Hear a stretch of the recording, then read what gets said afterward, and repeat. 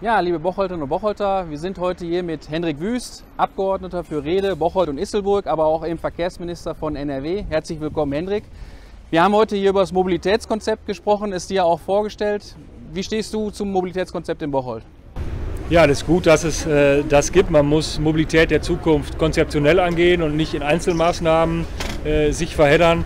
Weitermachen die Hausarbeiten. Es gibt jede Menge Fördertöpfe des Landes womit wir gute Projekte über alle Verkehrsträger, ÖPNV, Auto, Fahrrad unterstützen. Also konzeptionell arbeiten ist immer richtig. Ja.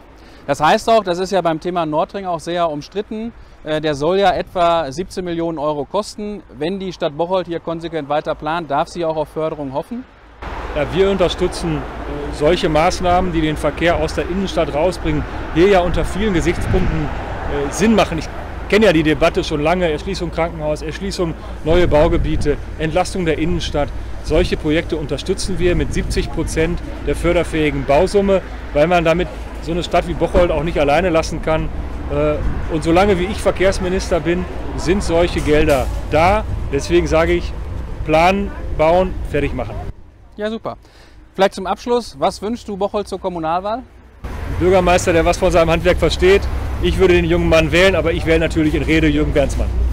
Alles klar, Dankeschön. Gerne.